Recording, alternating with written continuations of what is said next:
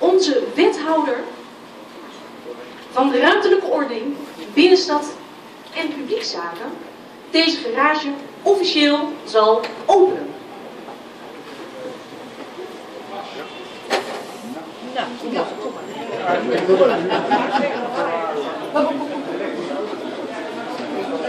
Wethouder van de.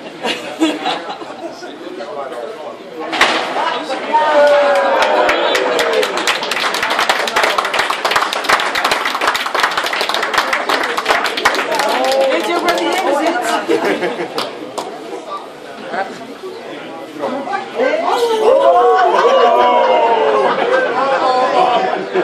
Dat doet u goed. Waar de zijn.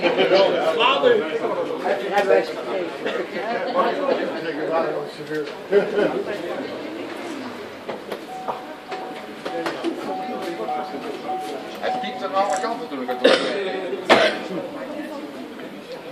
Graag een hartelijk applaus voor wethouder Pieter van Woensel. Eh, Het belast van een elektrische auto maakt alleen niet zo ontzettend veel herrie. Dat is toch wel jammer.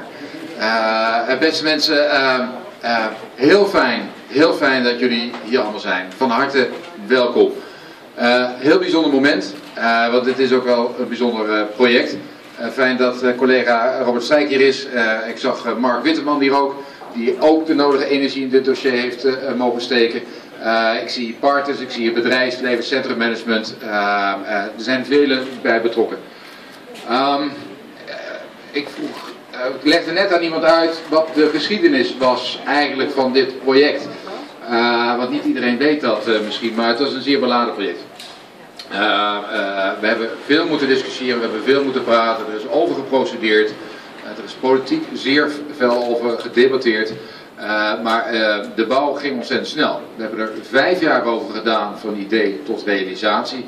Maar het is aan de steggen ons projectteam wel gelukt om het in vijf maanden te bouwen. Ik vind dat een uitermate knappe prestatie dat je dat in vijf maanden zo van de grond weet te tillen. Ja, dat mag voor worden geapplaudisseerd.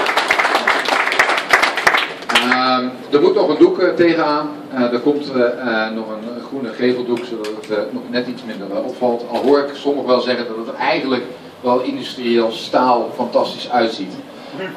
Wat hier wordt gerealiseerd is, behalve gewoon een kwaliteitsgarage met 400 plekken, met brede rijbanen, met ook oplaadpunten voor auto's zoals deze, elektrische auto's. Je kan ze niet alleen stallen, je kan ze hier ook meteen opladen. Het is wat dat betreft wel een moderne garage.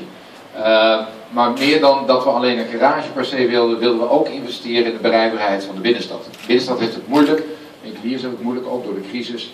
En uh, de autobereikbaarheid van Leiden is niet heel erg goed, om het maar zachtjes gezegd uit te drukken. En wat we hier realiseren op vijf minuten afstand van de binnenstad is iets wat de afgelopen decennia niet is gelukt, parkeerplaatsen toe te voegen. Je loopt via de Morstraat, ik hoop dat het straatje daarmee ook een impuls krijgt. Je loopt via de Morstraat naar Bouwportbrug en je staat zo in winkelend Leiden. Uh, het is een mooi tarief, de eerste twee uur uh, gunstig tarief, derde uur helemaal gratis. Ja, ook de komende week hier gratis parkeren, dat zal de Nederlander zeker aanspreken. Ontdek deze garage dan ook. Maar we pakken ook door. Dit college heeft ook besloten dat deze garage verdwijnt over een jaar of tien. Dat er twee ondergrondse parkeergarages gaan komen onder de Lammermarkt en onder de Garenmarkt met duizend plekken. onder de grond, dus niet zoals deze, maar echt blik onder de grond.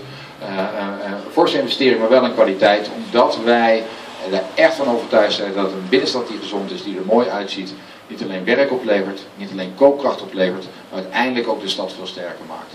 En dat is uiteindelijk waarom we het allemaal deden. En we hebben er veel voor over.